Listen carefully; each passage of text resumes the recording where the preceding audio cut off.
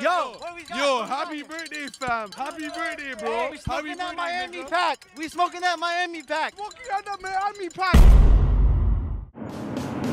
This is Fan First Network. Raptors win against the Heat. How are we feeling? Let's go!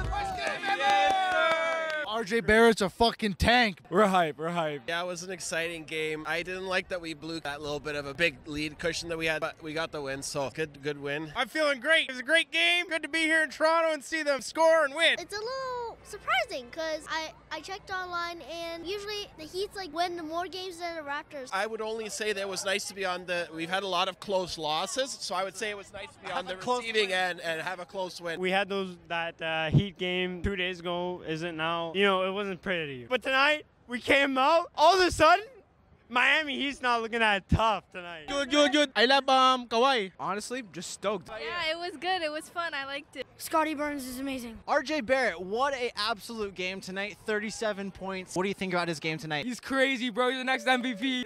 I just good, man. I just good. When we're in the playoffs next year, he's going to be a big part of our team. Do you have a favorite Raptors player? I like RJ. What did you think about that game? Um, pretty cool. It's pretty good. Um, Pretty good. lots of talent. Lots. 37 is just pretty good.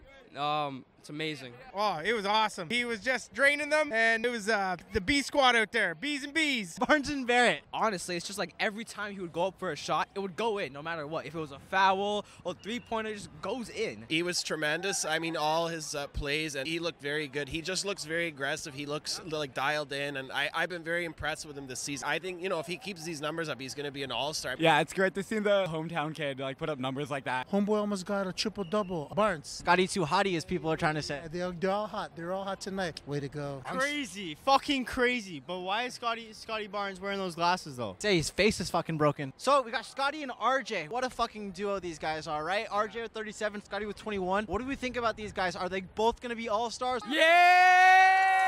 You know what? I hope that they both end up there. Scott, Scottie too hottie, baby. Scottie too hottie. Let's go. Um, I think that the Raptors have a chance, but like it's tight because Gradey needs to get uninjured really fast. We need him back, right? We need him back. I I think it'll just depend how consistent they are down the stretch. Like, 'cause it's still early on, and there's a lot of other talented players in the league. So, I mean, I would love to see two Raptors on the All Star, but I think again, I think it's just a, a question of time. But let, let's hope.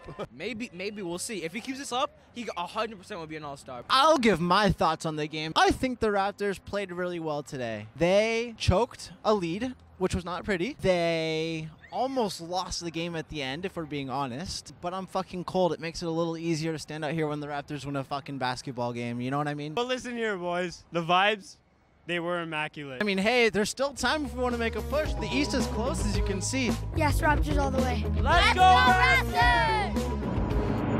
This is Fan First Network.